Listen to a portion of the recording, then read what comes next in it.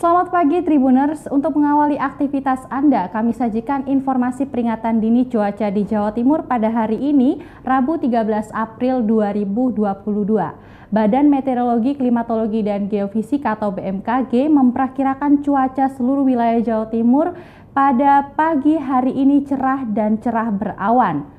Beranjak siang hingga sore hari, hujan intensitas sedang hingga lebat disertai petir dan angin kencang sesaat terjadi di wilayah Sidoarjo, Kota Mojokerto, Kabupaten Malang, Batu, dan Kabupaten Pasuruan. Cuaca yang sama juga diramal akan terjadi di Bondowoso, Kabupaten Kediri, Kota Kediri, Magetan, dan Pacitan. Pada malam hari, dan dini hari. Nanti BMKG meramalkan hampir seluruh wilayah Jawa Timur mengalami cuaca cerah dan cerah berawan.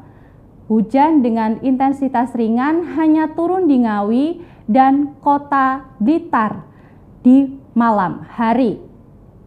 Suhu di kota Surabaya pada hari ini di angka 26 sampai 33 derajat Celcius, sementara tingkat kelembapan berada di antara 55 hingga 90 persen.